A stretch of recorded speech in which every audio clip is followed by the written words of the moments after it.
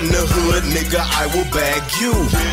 Back three, back three, back four. Yes, man, it really is me.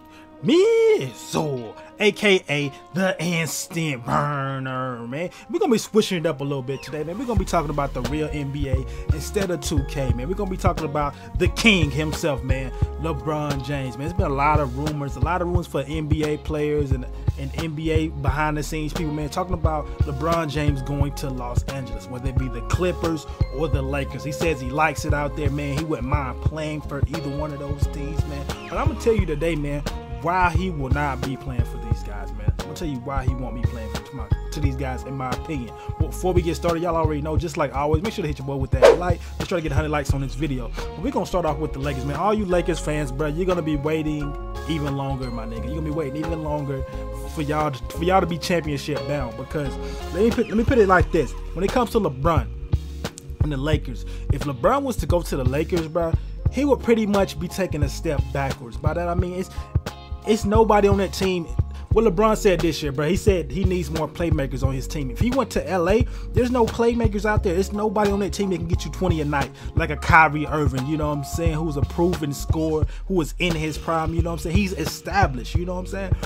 There's nobody on that Laker team. Even if you even if you bring Paul George somehow, if y'all don't know, he's a restricted free agent. If you don't know what a restricted free agent is, I'm talking about Paul George this pretty much means, man, if, if a team offered Paul George 25 million a year, if a team offered him 25 million a year, the Pacers have they have the right to match that or give him more money. If they match or give him more money, he will still be a Pacer. So he's a restricted free agent.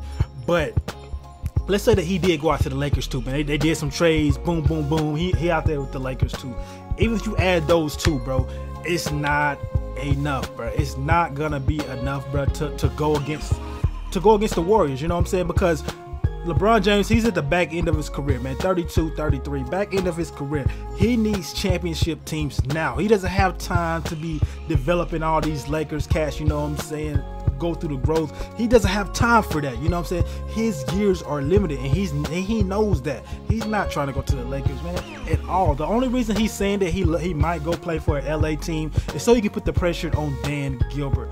By that I mean the first time they said the first time uh LeBron James was in Cleveland, they was all like Dan Gilbert was like, man, it's no way LeBron's gonna leave. Gonna leave Cleveland. He loves the city too much. Then the next thing you know, he doesn't get LeBron any help. All these years, the only help he got LeBron was an old ass Shaq. You know what I'm saying? Then the next thing you know, boom, he says, fuck it, you know what I'm saying? You don't get me any help. I'm going to Miami. So he goes to Miami. That's the real reason he went to Miami, bro. He was just sick and tired, bro. And you think it's a coincidence coincidence that he goes back to Cleveland and he gets all the players that he wants. He did that for a reason, man. So he can so he can pretty much be the GM as a player, you know what I'm saying? So, because he gets anybody that he wants now, you know what I'm saying? He pretty much has full control of that team because Dan Gilbert's going to give it to him because he doesn't want him to leave again. This is the same scenario, bro. He's just gonna. This scenario is just to put pressure on Dan Gilbert to get him who he wants again, man, and to put that and to put that fear into him to pretty much, you know what I'm saying? I don't see him going to the Clippers or LA, but he's definitely not going to LA, man. Even if you add Chris Paul to that team, add Chris Paul to the Lakers, add him to the Lakers, add Paul George. That's still not good enough. And that's still not as good as the team that he has in Cleveland. Even though the Cleveland they, they do have a few roster spots that they're gonna have to they're gonna have to void. They're gonna have to get somebody for Richard Jefferson. You know he's gone. Deron Williams he should be gone. So you're gonna need to get a, a, a backup point guard. Um and probably Kyle Korver. Kyle Korver is probably going too. You know what I'm saying? Even though I would probably keep Kyle Korver, even though he is old, man. I'm a big, I'm a big Atlanta fan, bro. I'm a big, big Atlanta fan, and this is the hardest I've ever seen Kyle Korver play on defense, man. He tried very, very hard. He wasn't hitting his shots, but he was still playing very hard on defense this year in the finals, man. That is somebody. I mean, he's getting paid what five, five a year. If I can get, to, if I can bump that down to about two a year, you know what I'm saying? I, I would keep Kyle Korver. You know what I'm saying? I would sign him back, but that team, that nucleus in, in, Cleveland is better than is would still be better than that than that Lakers team. You know what I'm saying? It's just too much to go on. The Clippers, if you went to the Clippers, that that would be more of a fit. But it's just too much going on when it comes to the Clippers. Man, it's way too much going on. With that, I with that I mean you got Blake Griffin. You got Blake Griffin, who's a free agent. You don't know if he's coming back. You don't know if he's coming back. If, if I'm signing with the Clippers, I need Blake Griffin. I need him. And, and another thing that you're gonna need, bro, you don't you don't know if um what's your shooter um JJ Redick. You don't know if JJ Redick. He might not come back. He's a free agent. You don't know if he's coming back. So these are pieces that you need, man. You need JJ Redick. You're gonna need Blake Griffin. If I'm LeBron and I'm, even thinking about signing, you also even if you even if you had those and you had Chris Paul, I'm still not trusting him, bro. You gotta realize Blake Griffin gets hurt way too much. Gets hurt way too much. And you think about think about Chris Paul, Chris Paul or Kyrie Irving. Both of them, are, both of them are good. Both of them are good. You know what I'm saying? I'm not, I'm not going, I'm not going to hold you. But lately, Chris Paul's been getting hurt way too much, and he's at the back end of his career. He's at the back end of his career, and you already know Kyrie Irving is still in his prime. And another thing I don't see fitting when it comes to Chris Paul and LeBron James is they're both ball dominant players, man. Even though LeBron James isn't the selfish type, he's still a ball dominant player. And when it comes to Chris Paul, bro, to for him to be effective on offense, he has to have the ball in his in his hand. You know what I'm saying?